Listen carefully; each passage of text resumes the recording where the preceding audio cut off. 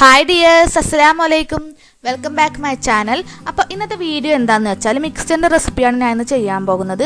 നമ്മൾ കടയിൽ നിന്ന് വാങ്ങുന്ന അതേ രുചിയിൽ തന്നെ വീട്ടിൽ തന്നെ മിക്സ്ചർ തയ്യാറാക്കിയെടുക്കാം കുട്ടികൾക്കൊക്കെ വളരെ ഇഷ്ടപ്പെടും.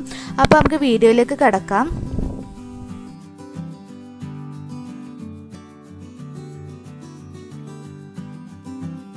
ഇനി നമുക്ക് മിക്സറിന് വേണ്ടിയുള്ള മിക്സ് തയ്യാറാക്കിയെടുക്കാം അതിനായി ഞാനിവിടെ ഒരു രണ്ട് കപ്പ് കടലപ്പൊടിയാണ് എടുത്തിട്ടുള്ളത്. അത് രണ്ട് കപ്പ് ഞാൻ അളന്നെടുത്തതാണ് അത് നമുക്കൊരു ബൗളിലേക്ക് ഇട്ട് കൊടുക്കാം.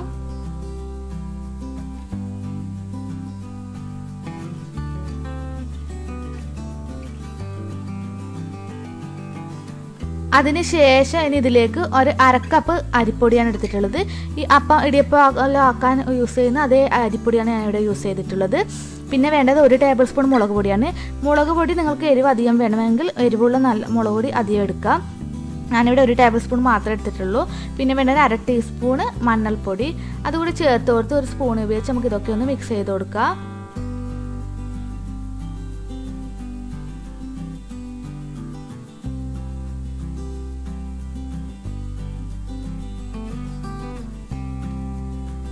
മിക്സ് ആക്കി എടുത്തതിന് ശേഷം ഇതിൽ നിന്ന് ഒരു മുക്കാൽ കപ്പ് പൊടി മാറ്റി വെക്കുന്നുണ്ട്. പോന്തി ഉണ്ടാക്കാനാണ്. പോന്തിയുടെ മാവ് തയ്യാറാക്കാൻ വേണ്ടി ഒരു മുക്കാൽ കപ്പ് ഇതിൽ നിന്ന് മാറ്റി വെക്കാം. ഞാൻ രണ്ടിനും കൂടി ഒരുമിച്ച് അളന്നെടുത്തതാണ്. നമുക്കിത് മാറ്റി വെക്കാം. അതിനുശേഷം നമുക്കിതിലേക്ക് കായം വെള്ളത്തിൽ അലിച്ചിട്ടൊന്ന് ചേർത്ത് കൊടുക്കാം. എന്നിട്ട് ഈ കായം ഉള്ളതുകൊണ്ട് ഇതുപോലെ ചേർത്ത് കൊടുക്കുന്നു. കായത്തിന്റെ പൗഡർ ആണെങ്കിൽ ഒരു അര ടീസ്പൂൺ ചേർത്ത് കൊടുത്താൽ മതി. പൗഡർ ഇല്ലാത്തത് കൊണ്ടാണ് ഞാൻ ഇതിലേക്ക് കായം വെള്ളത്തിൽ അലിച്ചിട്ട് ചേർത്ത് കൊടുക്കുന്നത് ഇതൊന്ന് മിക്സ് ചെയ്ത് കൊടുക്കാം.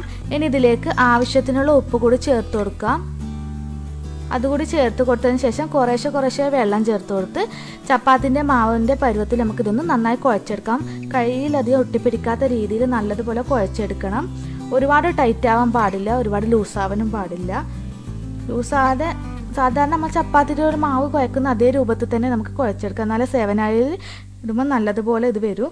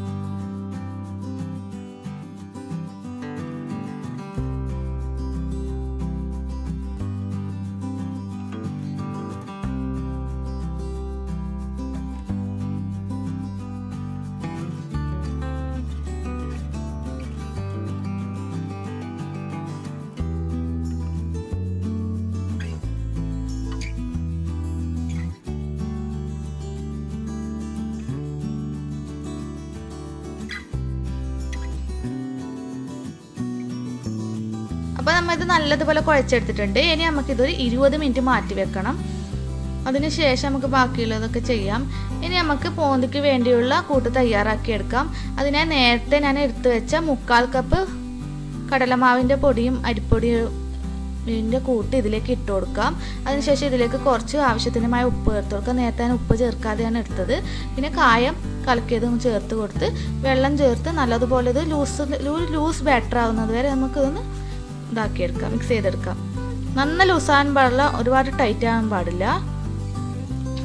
അപ്പോൾ നമുക്ക് കുറേശ്ശെ കുറേശ്ശെ വെള്ളം ചേർത്ത് കൊടുത്ത് കട്ടയില്ലാതെ നമുക്കിതൊന്ന് മിക്സ് ചെയ്തെടുക്കാം.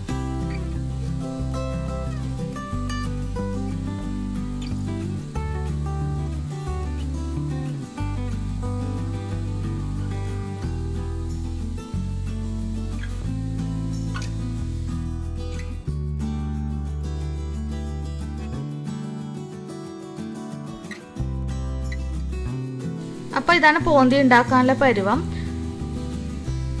കുറച്ചുകൂടി വെള്ളം ചേർത്ത് കൊടുക്കുന്നുണ്ട് ഞാൻ. കുറച്ചൊക്കെ കട്ടിയായി തോന്നിയിട്ടാണ്. ഇത്ര മതി. ഇത്ര അധികം ലൂസാക്കാൻ പാടില്ല. അപ്പോൾ നമുക്ക് ഇതാണ് പോന്തി ഉണ്ടാക്കാനുള്ള പരുവം. ഇനി നമുക്കിതൊന്ന് മാറ്റി വെക്കാം. ഇനി അടുത്തത് നമുക്കൊരു ചീനച്ചട്ടി എടുത്ത് അതിലേക്ക് ഓയിൽ ഒഴിച്ചു കൊടുത്ത് ഓയിൽ ചൂടാൻ വേണ്ടി വെക്കാം. ഓയിലൊന്ന് ചൂടായി വരട്ടെ. അപ്പോൾ നമുക്ക് സെവൻ ആയിലേക്ക് നമ്മൾ നേരത്തെ കുഴച്ചെടുത്ത മിക്സ് ഇട്ട് കൊടുക്കാം. വളരെ ചെറിയ ഇടിയപ്പൊക്കെ ഉണ്ടാക്കിയെടുക്കുന്ന ആച്ചിലാണ് ഉണ്ടാക്കിയെടുക്കുന്നത്.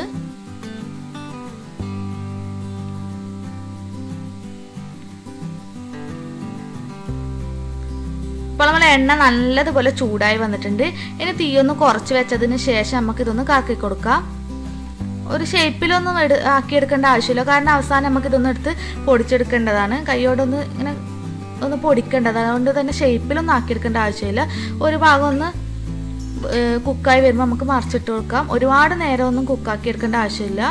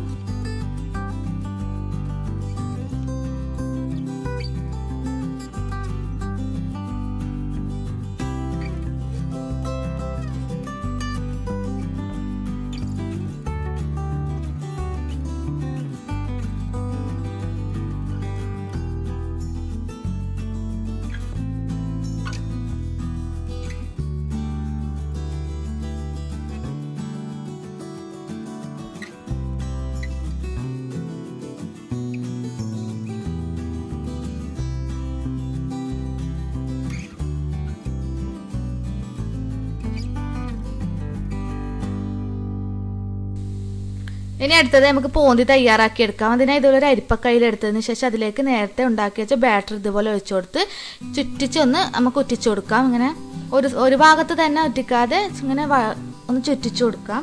അപ്പോൾ എല്ലാ ഭാഗത്തും ആവും. ഒന്ന് സ്പൂൺ കൊണ്ടൊന്ന് ഇതാക്കി ജസ്റ്റ് ഒന്ന് ഇങ്ങനെ തടയിൽ കൊടുത്താൽ അത് മൊത്തത്തിൽ താഴേക്ക് വീണു പോവും. ഇനി നമുക്കിത് നല്ല ക്രിസ്പി ആകുന്ന നേരം ഒന്ന് വറുത്തെടുക്കാം. ഇത് നല്ലതുപോലെ ഒന്ന് ക്രിസ്പി ആയി വേണം. അല്ലെങ്കിൽ തണുത്ത് പോകുമ്പോൾ ഇങ്ങനെ പഞ്ഞി പോലെ ഇരിക്കും. അതുകൊണ്ട് തന്നെ നല്ലതുപോലെ ക്രിസ്പി ആവുന്ന നേരം ഒന്ന് കുക്ക് ചെയ്തെടുക്കണം. നമുക്ക് എല്ലാം ഇതുപോലെ ഒന്ന് തയ്യാറാക്കി എടുക്കാം.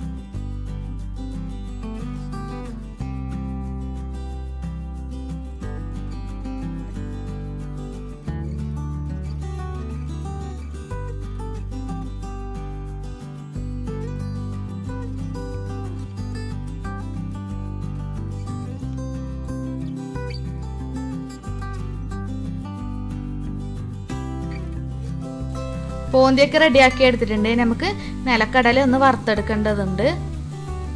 ഈ പോന്തിയിൽ നിന്ന് കോരി മാറ്റിയതിന് ശേഷം നമുക്ക് നിലക്കടലയും പൊട്ടുകടലയും ഒക്കെ ഒന്ന് വറുത്തെടുക്കാം.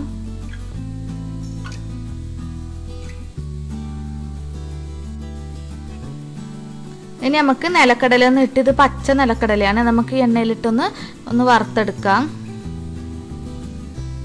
ഇതിലേക്ക് ഇപ്പം തന്നെ വേണമെങ്കിൽ കുറച്ച് ഉപ്പോളം തളിക്കാം. ഞാൻ ഇതിന് എല്ലാം വറുത്തതിന് ശേഷമാണ് ഉപ്പ് ഇട്ട് കൊടുക്കുന്നത്. വറുത്ത് നമുക്ക് ഇതൊന്ന് കോരി മാറ്റാം. നിലക്കടലൊക്കെ നിങ്ങൾക്ക് ഇഷ്ടത്തിനനുസരിച്ച് എടുക്കാം. പിന്നെ ഞാൻ അതിലേക്ക് ഒരു അരക്കപ്പ് പൊട്ടുകടല കൂടി ഇട്ട് കൊടുക്കുന്നുണ്ട്. പൊട്ടുകടല നമുക്ക് ഇതുപോലെ വറുത്തെടുത്താം. അത് ഞാൻ കരിയാതെ നോക്കണം. ജസ്റ്റ് ഒന്ന് വറുത്തെടുത്താൽ മതി.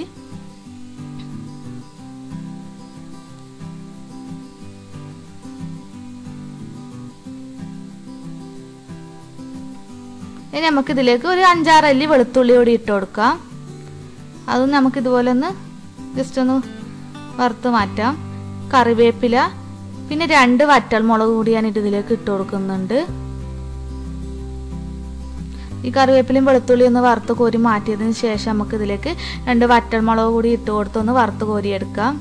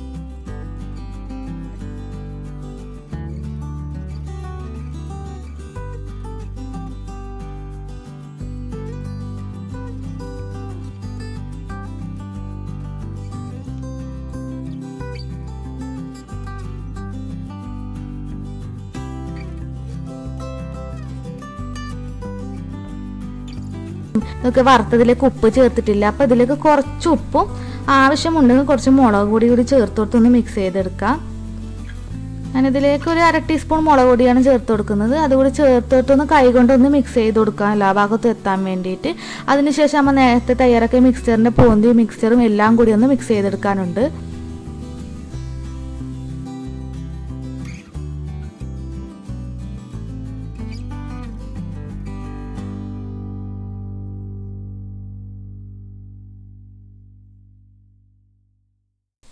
അപ്പോൾ നമ്മൾ നേരത്തെ തയ്യാറാക്കി വെച്ച മിക്സറിന്റെ കൂട്ടിയുടെ എടുത്ത് വെച്ചിട്ടുണ്ട്. ഇതുപോലെ ഒരു വലിയ പാത്രം എടുക്കുക. എന്നിട്ട് നമുക്ക് കൈ കൊണ്ട് ജസ്റ്റ് ഒന്ന് ഇതുപോലെ പൊടിച്ചു കൊടുക്കാം. ഒരുപാട് ഇട്ട് പൊടിക്കാൻ പാടില്ല. ജസ്റ്റ് ഒന്ന് കൈ കൊണ്ടൊന്ന് പൊടിച്ചാൽ മതി. ഒരു മിക്സ്ചറിന്റെ പരിവ് അറിയാലോ ഇനി അതിലേക്ക് നേരത്തെ വറുത്ത് കോരിയ കടലയും പൊട്ടുകടലയും വറ്റൽമുളകും കറിവേപ്പിലൊക്കെ ഇട്ട് ഒന്നുകൂടി മിക്സ് ചെയ്ത് കൊടുക്കാം. അതൊക്കെ ഇട്ട് ഒന്ന് മിക്സ് ആക്കി എടുക്കുമ്പോൾ അത് ശരിയായിക്കോളും. ഇനി വേണമെങ്കിൽ നമുക്ക് ഈ നേരത്തെ കുറച്ച് മുളക് പൊടി ചേർത്ത് കൊടുക്കുക എരിവ് കൂടുതൽ വേണ്ടുന്നവർക്ക് മുളക് പൊടി ചേർത്ത് കൊടുക്കാം. ഞാൻ കുട്ടികൾക്ക് കൊടുക്കുന്നത് കൊണ്ട് അധികം മുളക് പൊടി ചേർക്കുന്നില്ല. അപ്പോൾ നമ്മുടെ മിക്സ്ചർ റെഡി ആയിട്ടുണ്ട്. വളരെ എളുപ്പത്തിൽ നമുക്കിത് വീട്ടിൽ തന്നെ തയ്യാറാക്കി എടുക്കാൻ പറ്റും. ചിലർ വിചാരിക്കുന്നത് വളരെ പാടാണ് ഇതൊക്കെ ഉണ്ടാക്കിയെടുക്കാൻ. പക്ഷേ ഏറ്റവും എളുപ്പത്തിൽ തയ്യാറാക്കിയെടുക്കാൻ പറ്റിയൊരു പലഹാരം തന്നെയാണ് ഈ മിക്സ്ചർ അപ്പോൾ ഈ വീഡിയോ ഇഷ്ടപ്പെട്ടെങ്കിൽ എല്ലാവരും ലൈക്ക് ചെയ്യാനും ഷെയർ ചെയ്യാനും മറക്കണ്ട. നിങ്ങളുടെ അഭിപ്രായങ്ങൾ കമന്റ് ബോക്സിൽ അറിയിക്കാം. അപ്പോൾ നെക്സ്റ്റ് വീഡിയോയിൽ അടുത്ത റെസിപ്പിയുമായി വരും വരെ ഓക്കെ ബൈ താങ്ക്